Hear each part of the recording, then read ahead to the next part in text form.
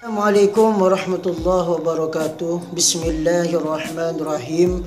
Wa'lam dan ketahuilah anna man shalla ba'da al-isya'i bahwasanya orang yang solat setelah syat isya faqad qama min al-laili maka sungguh orang tersebut sungguh melaksanakan solat malam eh, ai qiyamul lail wa qad kana ba'du salafi dan sebagian ulama salaf yusalli wirdahu min awal laili dan solat uh, solat uh, dan menjadi wiritannya dari awal malam min awal laili. Jadi solat setelah isya itu merupakan wiritannya ulama salaf tersebut min awal laili.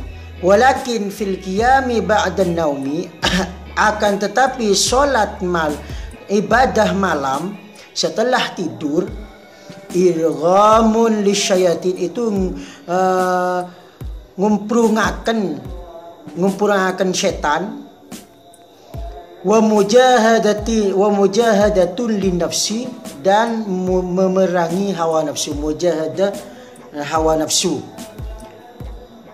Wa sirrun ajimun dan rahasia yang indah wa huwa at-tahajjudu ah, qiyamul lail qiyam al-qiyam ba'da naumi iaitu solat tahajud alladhi amara Allah bihi uh, rasulahu yang Allah telah perintahkan pada rasulnya fi qaulihi uh, di dalam firman-Nya Allah.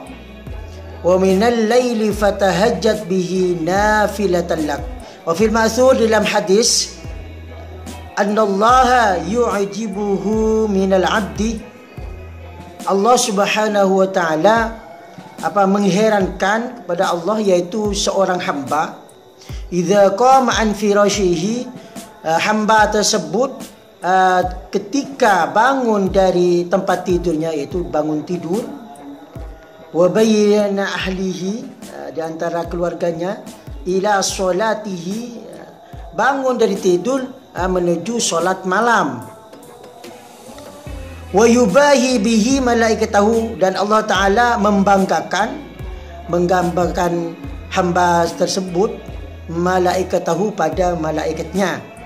Wa yaqbalu alaihi biwajhil karim dan Allah taala uh, dan Allah taala apa ikbal berhadapan dengan uh, hamba hamba sahaya tersebut biwajhil karim dengan zatnya Allah yang mulia. Demikianlah semoga bermanfaat. Uh, wassalamualaikum warahmatullahi wabarakatuh.